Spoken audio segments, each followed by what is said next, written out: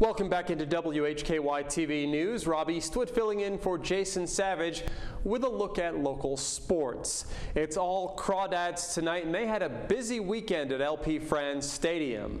The Dads came up just shy of clawing back from a nine-run deficit Friday night against the Columbia Fireflies.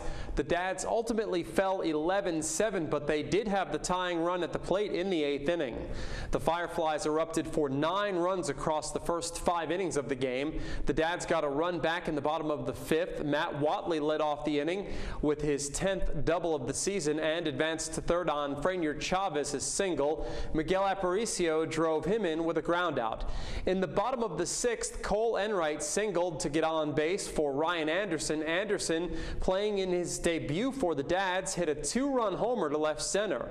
In the bottom of the ninth, Anderson had his second home run of the evening, but the Dads were unable to score anymore and they fell for their fourth straight loss. Saturday, Tyreek Reed delivered a walk-off home run as the Dads won 7-6 over Columbia. Hickory fell behind 5-0 early but rallied back for the second night in a row. The Dads threatened to tie the game in the bottom of the eighth inning by loading the bases, bringing the tying run to the plate. Pedro Gonzalez once again delivered an RBI single, but the Crawdads could not get any more runs across in that inning. The Dads tied things up in the bottom of the ninth. Jonathan Ornelas reached on a field area and Miguel Aparicio singled before Cole Enright hit a game-tying single. He was thrown out trying to stretch the single into a double. Tyreek Reed crushed a home run to cap the four-run ninth inning rally and send the Dads home with a 7-6 win that ended the four-game losing streak. Yesterday, the Crawdads defeated Columbia 6-5 to cap off the four-game homestand. The two teams split the series.